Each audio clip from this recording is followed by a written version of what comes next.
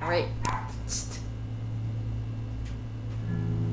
All right, hit it. Oh, okay. Hi, we're three quarters of the band Sleight of Hand. Hi, Mom. before, before we get started, I'm going to make this glass disappear, maybe.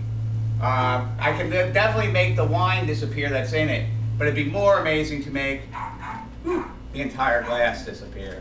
With, with that, we'll play our hit single, Fun in the Sun.